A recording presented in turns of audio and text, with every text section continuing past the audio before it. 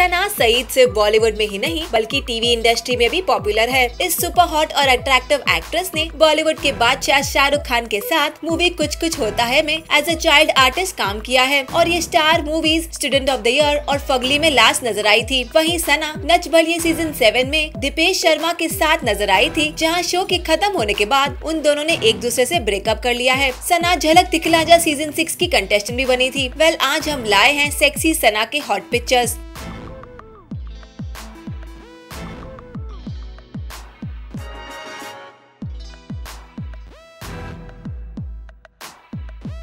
Television के more updates के लिए देखते रहिए हमारा चैनल।